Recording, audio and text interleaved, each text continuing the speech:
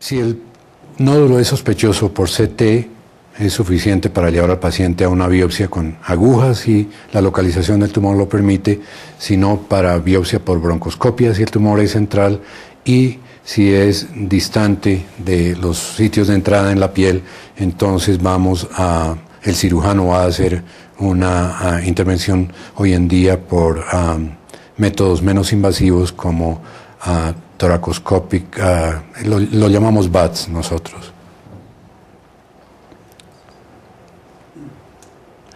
Ah, ah, hubo mucha controversia, no la hay hoy en día.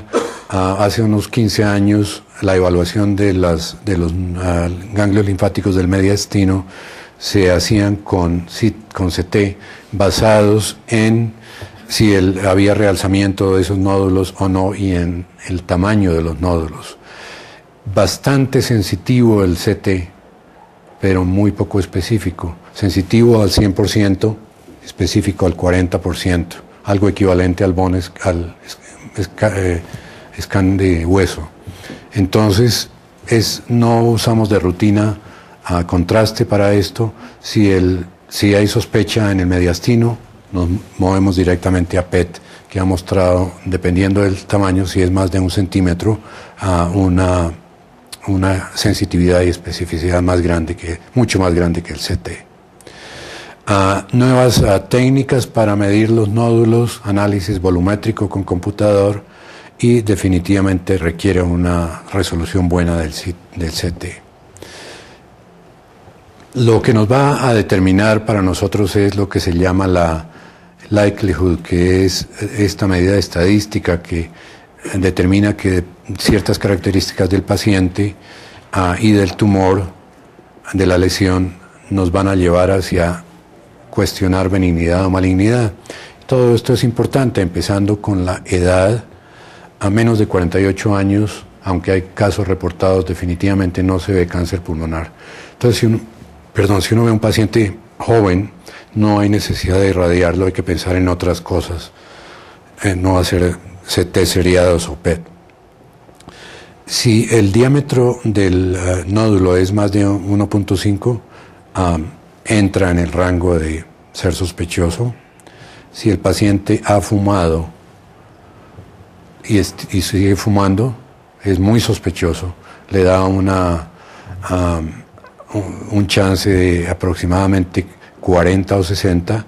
Si el paciente paró de fumar, el chance le disminuye, pero todavía está. Entonces, el que tocó cigarrillos o, o como muchos de nosotros fueron fumadores de segunda mano, tenemos riesgo.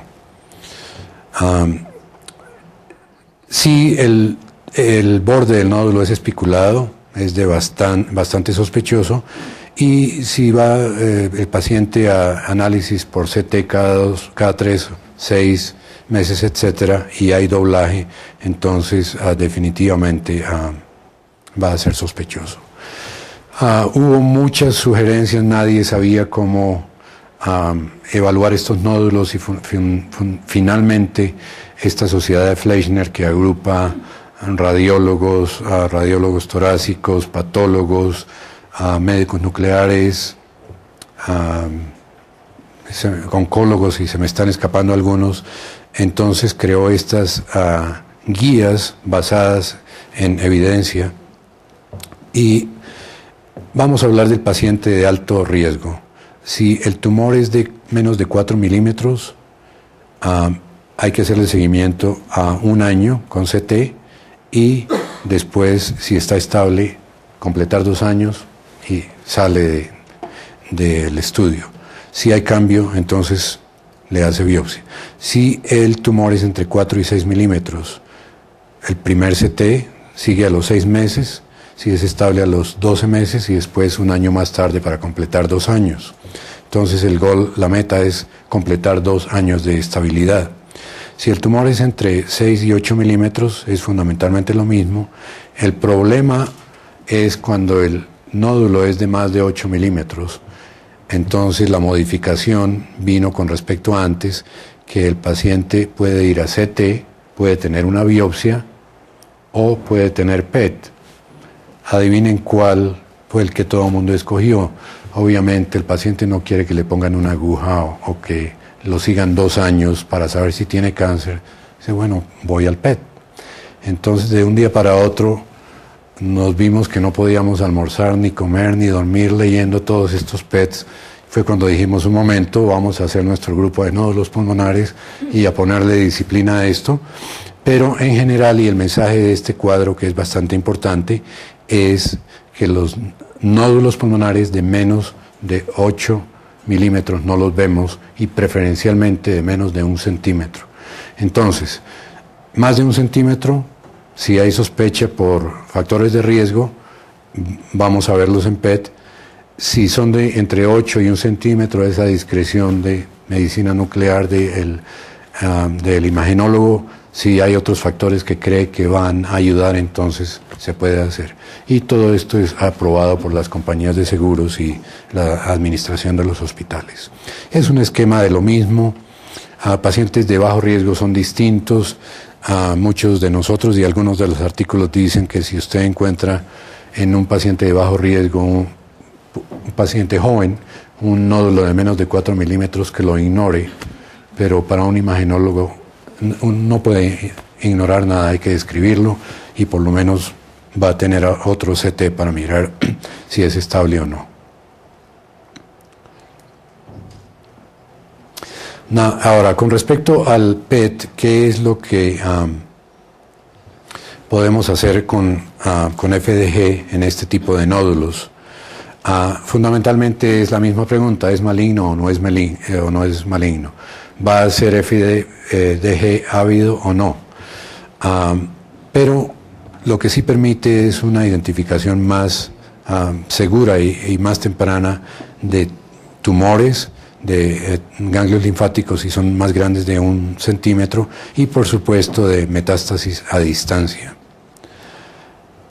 la sensibilidad para PET sin CT, PET solamente, es 96% y 88%. Ah, para benignidad. Para enfermedad maligna, la misma sensibilidad se baja un poco la especificidad, pero usted compara esto con CT que es 40% y definitivamente no hay competencia.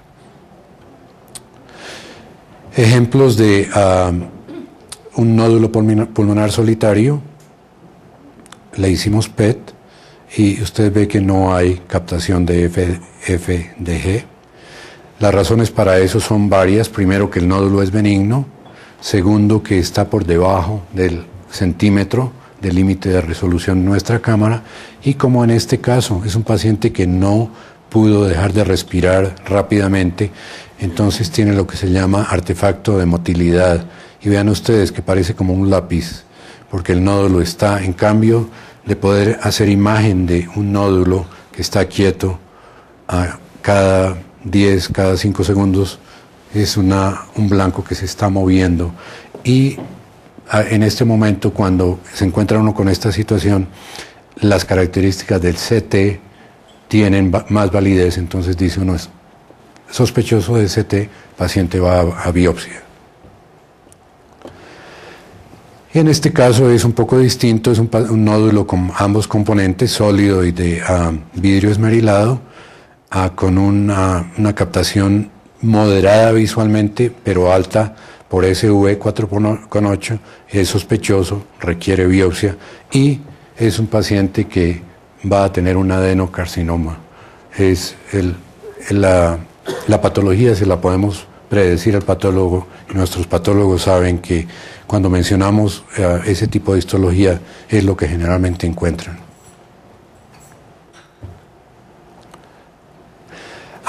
Quiero mencionar solamente que cuando estamos manejando un paciente que no ha tenido cánceres primarios, paciente que viene de la calle, el, estudio del nódulo solitario es como lo mencionamos. Cuando el paciente tiene historia de cualquier otro tumor primario, como eh, seno, próstata, ah, colorectal, entonces si el paciente tiene vidrio esmerilado, la mayoría, casi 80%, de estos nódulos no van a ser tumores pulmonares, sino relacionados con las metástasis. Es algo que tenemos que tener en cuenta.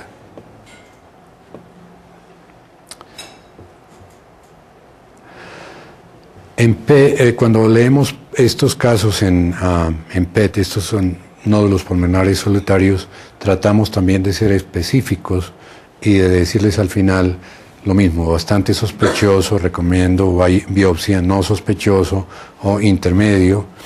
Y ah, la alternativa es, si, si el tumor es maligno o sospechoso, bien sea toracotomía, toracoscopia, biopsia ah, o ah, broncoscopia. Las limitaciones que tenemos, hablamos ya del tamaño del tumor, por supuesto falsos positivos como en otros tumores, inflamación o infección, y falsos negativos como el que vimos secundario a eh, moción, movimiento o secundario también al tipo histológico del antiguamente llamado broncoalveolar o este vidrio esmerilado. ¿Por qué no vemos las imágenes de vidrio esmerilado? Porque no hay casi células, es aire, es como una esponja ah, que parece perfecta. Por eso es que no vemos el, tumor captando FDG.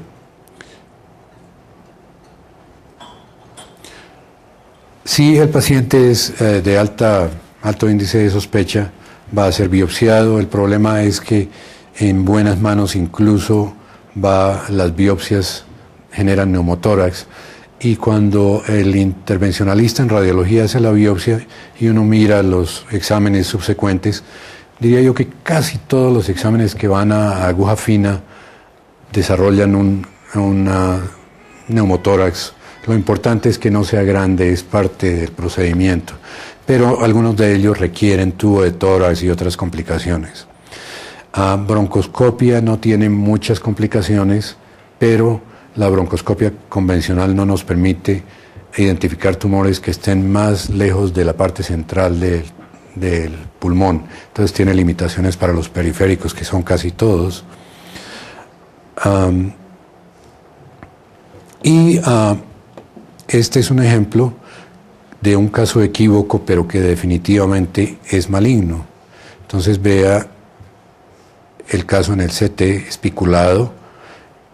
El problema es la localización, se está sentado en el diafragma, es una localización que es mala para todo el mundo.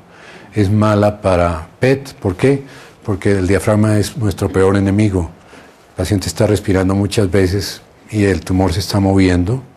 Es mala para hacer una biopsia con aguja porque usted va a lacerar el hígado con la respiración, es mala para todo el mundo. Entonces el toracoscopista, que no es muy buena para él, el cirujano dice, bueno, nos toca hacer una biopsia.